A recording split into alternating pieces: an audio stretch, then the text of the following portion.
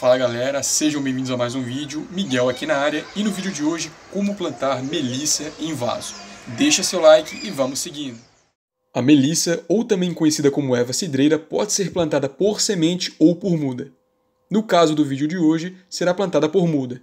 É importante verificar uma muda saudável para fazer o plantio. O vaso para plantar, acima de 3 litros, já está de um ótimo tamanho. O vaso tem que possuir furos embaixo e vamos acrescentar 90% de terra vegetal ou conhecida como terra orgânica ou terra preta, comprável em qualquer floricultura.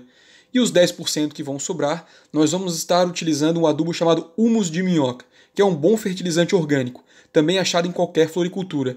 A proporção é 90% terra vegetal, 10% humus de minhoca. Devemos remover o saco plástico, colocar a muda no centro do vaso, completar com terra vegetal e, utilizando a mão, usaremos uma pressão de leve para fixar o torrão no vaso. A melissa gosta de terra levemente úmida, então todos os dias devemos checar para ver se precisa regar. Devemos deixar a melissa em sol pleno ou em sombra parcial, conhecido como meia sombra.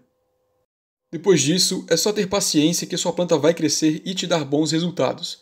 Caso você tenha gostado do vídeo, considere deixar seu like, fazer um comentário e se for novo, se inscreva no canal. Quem passou essa dica hoje para você foi o Miguel. Aquele grande abraço e eu te encontro nesse próximo vídeo.